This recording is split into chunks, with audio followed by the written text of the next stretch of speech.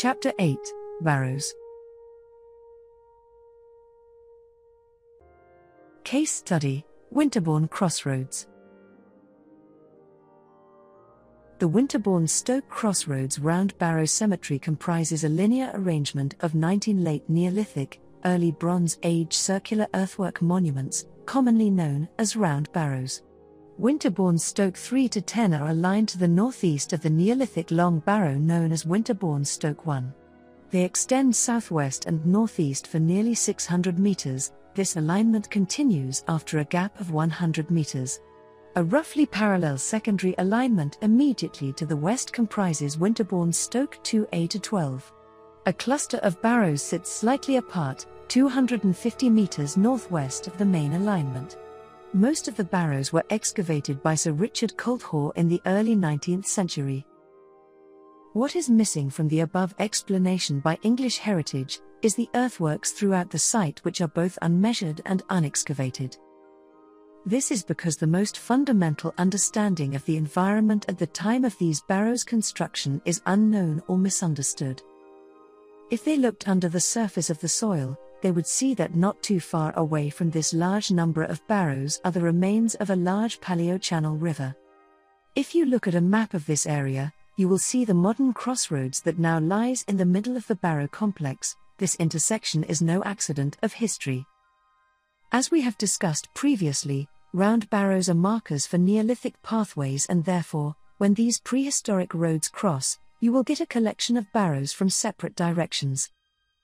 Modern roads are mainly built on the remains of previous roads, which in turn are constructed again on their initial ancient pathways.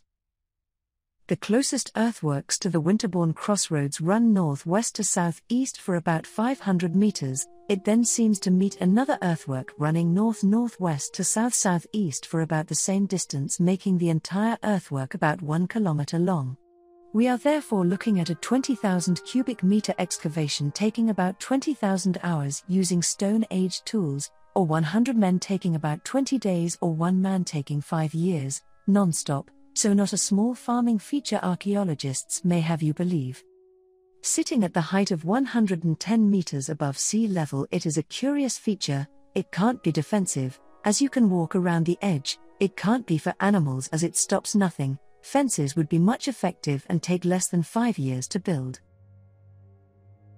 With the Mesolithic groundwater level, 85 meters to 95 meters, the Long Barrow, Wilsford 34 is surrounded, like Stonehenge, on three sides making it a peninsula. But as the Mesolithic waters receded, the Long Barrow became isolated, so a dike, canal, was built to meet the new shoreline. This new dike would eventually service not just one but three long barrows Stoke 1, Wilsford 34, and Wilsford 41.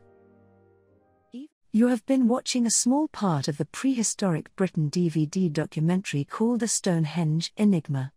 The full three hour DVD is available on Amazon as well as all three trilogy books.